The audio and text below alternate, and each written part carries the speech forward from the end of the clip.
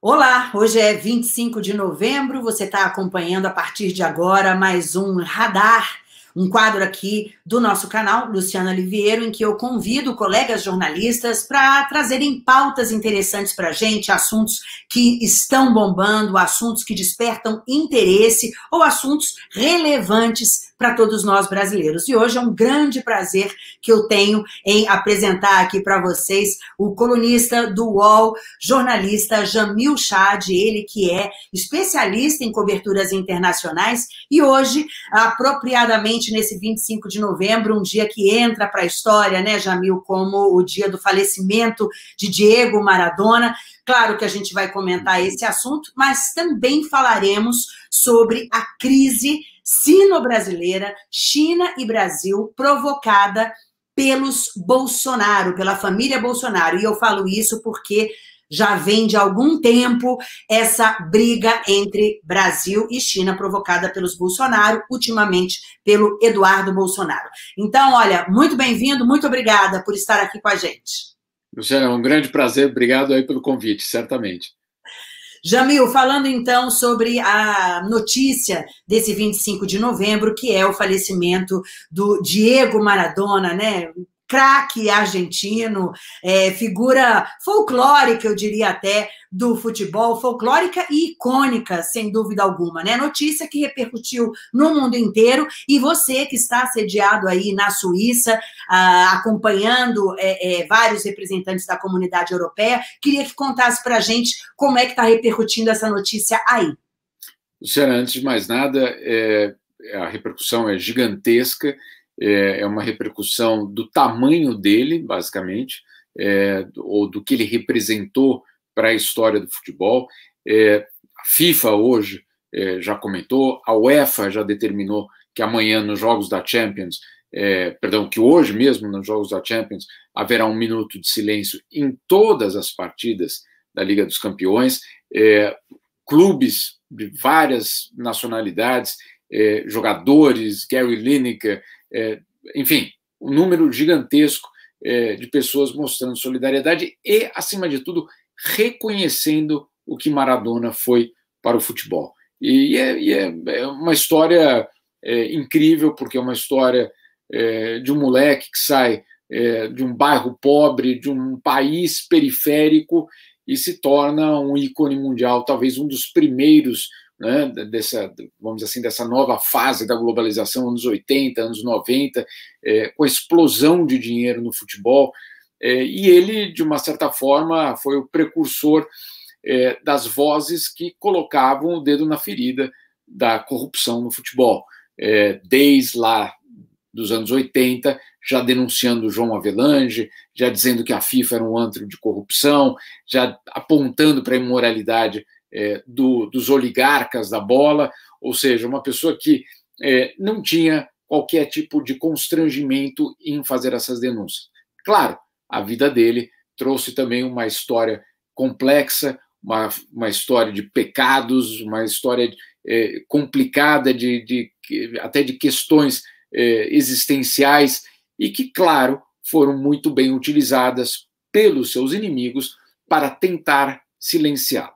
Né? Essa, essa história aconteceu já nos anos 90, João Avelange que dizia que ele era um, era um drogado e que, portanto, não prestem atenção nele, é, e tudo isso, obviamente, anos depois, desmoronou, é, como se os ecos do que ele vinha falando, é, de alguma forma, é, tivessem, no fim, um impacto, claro, teve todas as prisões na FIFA, os cartolas, os julgamentos, etc., e toda a revelação, de que, de uma certa forma, aquele rebelde jogador é, tinha razão. Né? Então, você tem aí uma história é, muito complexa, uma história de fraquezas e de heroísmo, uma história de genialidade e uma história é, de defeitos que mostra, na verdade, aí todas as facetas da humanidade, né? da, da extrema genialidade a, a, a, uma, a uma situação de, de depressão, inclusive. Então, é, é, uma história incrível, uma história que, claro, é, faz parte, é, se confunde com a história do futebol do século XX. Então, é, é, é, é certamente a história do dia hoje. Sorte tivemos nós de vê-lo jogar, né, Jamil? Porque muita gente aí, a garotada e muito do nosso público aqui na internet não teve essa, essa alegria de ver uh, Maradona em campo, até porque era um evento, era uma expectativa para ver o que ele faria com a bola nos pés e também o que, que ele ia aprontar em campo, né? Porque vira e mexe, tinha algum chabu ali, né? Uh, ainda sobre a repercussão internacional, claro, na Argentina, mais do que, do que em qualquer outro lugar do mundo, né? Uma morte sendo extremamente lamentada, o governo argentino decretou, inclusive, luto oficial de três dias. Aqui no Brasil, tivemos a declaração do Pelé, né? Sempre houve aquela a, a rixa entre aspas, né, entre aspas, entre os dois, quem é o melhor do mundo, né? E o Pelé hoje prontamente, generosamente, reconhecendo, como você disse, a, o talento e a genialidade do, do, do, Maradona e escreveu, achei muito bonito, o Pelé que já está aí com seus 80 anos, né? Que é. quem sabe um dia poderão jogar juntos um futebol no céu, já que é, nessa vida, infelizmente, esse encontro, é, que teria sido incrível, nunca aconteceu. Jamil, você acredita que aqui no Brasil já tem gente politizando a questão do Maradona pelas relações que ele teve muito forte, sim, com Fidel Castro, passou tempos em Cuba, é, é, é admirava o, o, líder cubano, né, o ditador cubano, enfim, e, e outras uh, outros governos uh, sul-americanos, né, essa posição política dele de fato contra Malvinas também, enfim, é, e já tem gente politizando isso aqui no Brasil, Jamil. Fora daqui não existe esse tipo de, de politização, né? ninguém está lembrando se ele era amigo do Fidel ou não, né? Olha, até, até lembram, mas como um elemento a mais de uma história que não é essa. Né? Não era o fato de ele ser amigo do Fidel que definia quem era o Maradona. Né? Essa, essa é a história que talvez esteja um pouco perdida aí num, nas sociedades que hoje vivem um racha é, muito profundo. É, não, a história é de um jogador brilhante, de um gênio. Essa é a história. A, a outra história é da, da, da, sua vida privada, que sim, muito complicada, sim, das suas opções políticas, você pode estar de acordo ou não. É, agora, ótimo, tá bem. Agora, vamos olhar é, o que é que ele. E como até um torcedor argentino li em algum lugar aí, dizia que não é, é o que o Maradona é, fez durante a vida dele, é o que o Maradona gerou na vida de tantas pessoas. Né? E isso é, é, é, muito forte, porque é isso, é, é, a história do impacto que ele tem. Por que, que ele é santo na Argentina, o Deus? Né? Uhum. É, vamos tentar entender, para é. entender qual é essa dimensão. Agora, o que tem é, de claríssimo nessa, nesse comportamento dele, e talvez explique essa relação com o Fidel Castro, questão das Malvinas e outras, é de que ele sempre enfrentou o poder. Né? Então, ele tem essa questão de é, confrontar.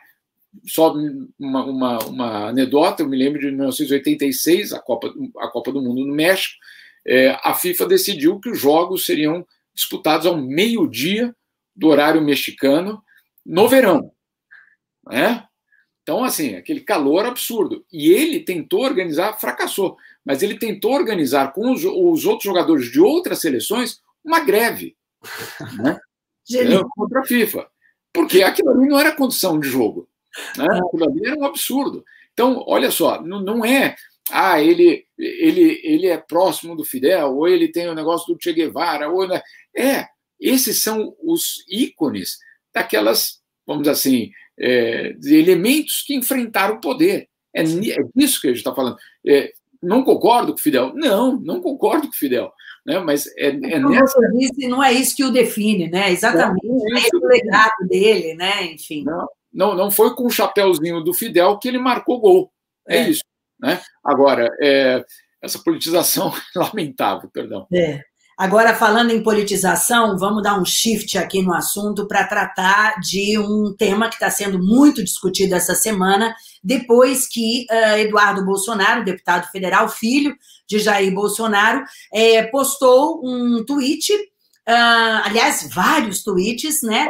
Uh, falando sobre o acordo com relação ao 5G. A gente sabe que a tecnologia 5G, no ano que vem, no primeiro trimestre, provavelmente será definido, então, o parceiro do Brasil para trazer essa tecnologia importantíssima para o nosso país. E o Eduardo Bolsonaro, aí nesse tweet, coloca então: olha, o Brasil apoia o projeto dos Estados Unidos para o 5G e se afasta de tecnologia da China. O governo Jair Bolsonaro declarou apoio à aliança Clean Network, lançada pelo governo do Donald Trump, criando uma aliança global para um 5G seguro, sem espionagem da China. Mais detalhes no thread. E aí, no tal do thread, ele continua. Ele acusa a China de espionagem, ele dá a entender que o sistema de 5G da China é, possibilitaria uma espionagem por parte do governo chinês, e não só isso, né? Tá aí, olha, a, a thread seguindo, né? Ele fala que isso ocorre em repúdio a entidades classificadas como agressivas e inimigas da liberdade, a exemplo do Partido Comunista da China. E fala outras aí, outros impropérios, né? O que foi tão grave que provocou uma reação do governo chinês, é, é, em nome, por meio do embaixador da China aqui no Brasil, fato que você cobriu em uma coluna, na sua coluna no UOL, e que eu gostaria que você contasse aqui para gente. Foi uma resposta muito uh, uh, séria, muito direta e ameaçadora também, né? Ali, para bom entendedor, ficou claro que se a brincadeira continuar, teremos, aliás, como ele próprio diz, no fim, o embaixador, arcar com as consequências desagradáveis disso, né, Jamil? Exatamente. E não tem nenhuma meia palavra aí nesse, nesse comunicado. É, a diplomacia é conhecida como a arte de dizer sim ou não sem dizer sim ou não. A diplomacia é uma forma é, de chegar a entendimentos no caso da China, a diplomacia é ainda mais cuidadosa, porque eles pensam em médio e longo prazo, ninguém responde nada imediatamente. Então, para a China, Luciana, ter tomado a decisão de colocar um comunicado desse, com a violência desse comunicado no ar, é porque acabou a paciência. Né? Então, é, tem uma, uma das interpretações, conversei muito com muita gente hoje sobre isso, dentro do governo brasileiro, uma das interpretações é de que a China está dizendo: olha só, é, ou vocês param com essas provocações, ou nós poderemos sim tomar medidas. Quais medidas? Não necessariamente retaliações comerciais. Pode ser, por exemplo, parar de apoiar vocês em algum órgão internacional. Pode ser, numa hora de uma votação, tirar, retirar o nosso apoio ao Brasil. Então, a retaliação na diplomacia no cenário internacional não vem só no formato de soja, né? ela vem no formato é, de apoio ou não apoio, ou minar a possibilidade de algum tipo de influência brasileira no exterior. Por exemplo, no Conselho de Segurança, né, em que a China está e que precisaria de um voto chinês para o Brasil ter essa vaga tão desejada há tantos anos. Mas olha, Jamil, ele deixa clara também essa questão comercial. Por exemplo, Sim, com certeza. Ele, ele, salienta o embaixador que lembra, né, ou lembra aos Bolsonaro que entre janeiro e outubro deste ano a exportação brasileira alcançou quase 60 bilhões de dólares, ou seja, produtos brasileiros indo para a China, 33,5% do total exportado pelo Brasil, ou seja, um terço do que a gente exporta, né? Uh, uh, e dizendo que é parceiro comercial e primeiro, principal parceiro comercial do Brasil há 11 anos consecutivos. É. De novo, tá bom entendedor. É, é exato, tem toda a razão. Tem mais um ponto, que se eu fosse o chinês eu colocaria só isso, é, que além de ser o primeiro colocado no, na, na, parceria comercial com o Brasil, representa 33%, o segundo colocado os americanos, com 9%. Então a diferença é gigantesca. Não é que um tem 33 e o outro tem 32,5. Não. Um tem 33% das, é, o, é o cliente de um terço das exportações e o outro é o cliente de um décimo das exportações. Bom, mas aí nós estamos uma coisa mais grave ainda, porque a gente está mal com um e ficaremos mal com o outro. Agora, Estados Unidos tem outro poder. Como é que fica o Brasil, Jamil? O que, que o pessoal comenta aí, hein, nesse cenário novo que está que tá é. surgindo? Luciana, tem um ponto que, é, ainda sobre esse comunicado chinês, que deixou muita gente preocupada dentro do Itamaraty, tanto que o Itamaraty não reagiu, né? o Itamaraty não respondeu, ficou todo mundo quietinho. Vale lembrar, isso é uma, um ponto fundamental, a China não só colocou esse comunicado nas redes sociais, a China usou os canais diplomáticos para fazer uma queixa formal ao Itamaraty. Então, é, sim, nós ficamos sabendo porque isso chegou pelas redes sociais, mas também tivemos algo muito claro internamente. Qual é a interpretação? Uma das interpretações que corre dentro do governo é a seguinte: que os chineses é, já sabem que, o, que, a era Trump acabou. É, eles já sabem que, ao acabar a era Trump, o Brasil ficou mais isolado. Ao estar mais isolado, os chineses estão dizendo para nós brasileiros: olha só, cuidado, porque agora vocês estão sozinhos, pessoal. Vão, vai seguir nessa? Ou vocês não entenderam que vocês estão sozinhos? Né? Então, é, é aquele, perdão pelo, pelo linguajar, mas aquela, baixa a bola, pessoal. Baixa a bola, porque vocês não têm mais a saia do Trump para correr atrás se acontecer alguma coisa. Acabou. Acabou. Você que cobre tanto essa questão de, de, de relações uh, diplomáticas né, entre os países, é, até que ponto o governo de um outro país, que é atacado pelo governo brasileiro, e sabe-se bem, obviamente, ao redor do mundo, a situação é, é, pitoresca que nós vivemos aqui, esse shift, que essa mudança que nós tivemos brusca para a extrema-direita tal. Até que ponto um outro país, uma outra nação entende que é uma circunstância focada, um problema específico e que isso não representa a nação inteira? É, até que ponto eles vão ter pena da gente? Olha, é, tudo vai depender da influência desse grupo aí. Né? É, vou te dar um outro exemplo. Falava com o chanceler palestino faz duas ou três semanas. É, e ele dizia o seguinte: é, olha, as relações com o Brasil são excelentes. A gente tem muita confiança no parlamento brasileiro, no Congresso brasileiro. Nós temos grandes amigos dentro, dentro do Itamaraty. Nós temos confiança nos militares. Mas ele virou e parou assim, Luciana. Mas aquele filho do presidente pode colocar tudo isso é, em xeque.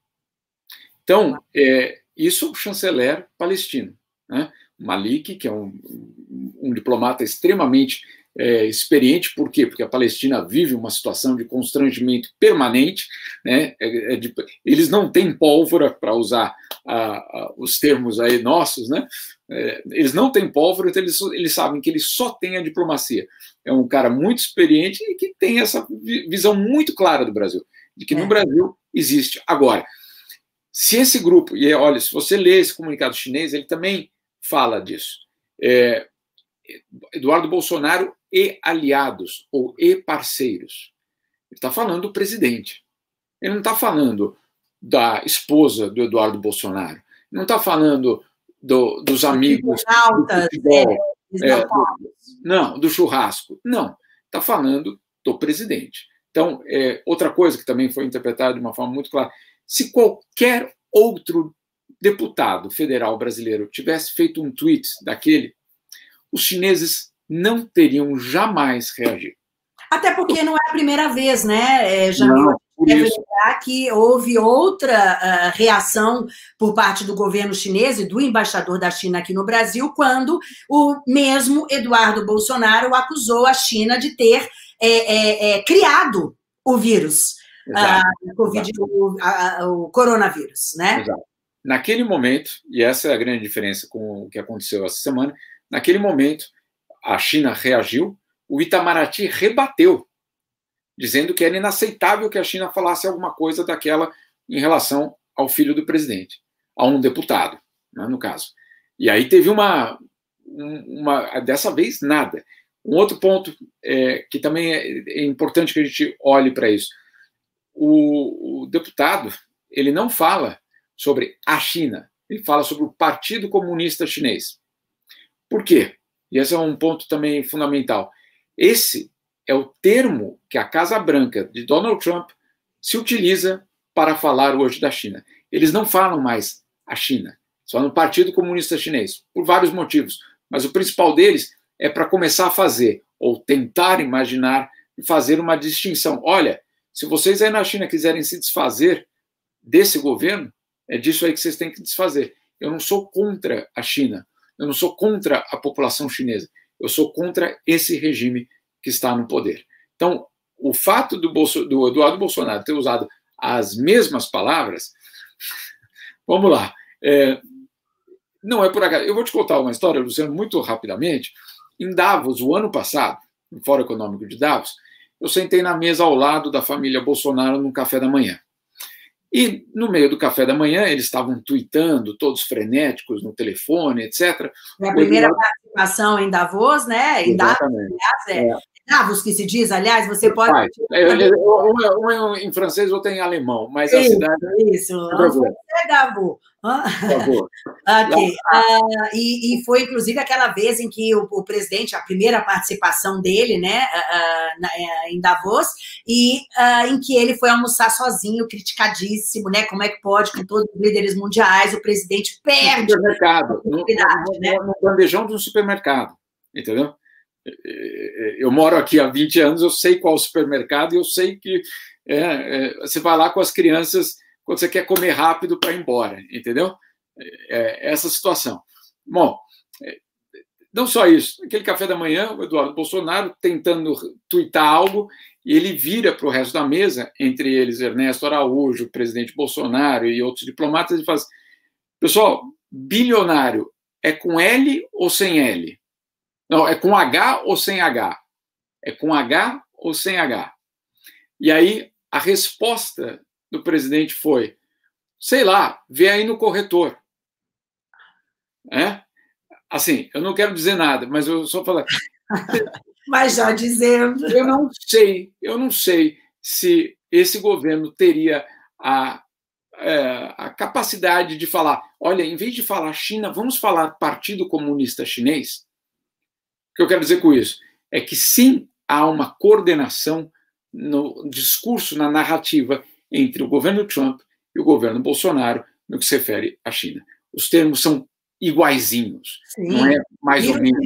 O vírus chinês. O vírus chinês, é. exatamente, exatamente. É. Então é muito, é muito coordenado e por isso que a China, é, já sabendo que o governo acabou, que o governo é, Trump acabou, manda um recado para o governo Bolsonaro dizendo de uma forma muito clara: pessoal, baixa a bola, vocês estão sozinhos agora, não é mais hora de usar essa retórica é, violenta.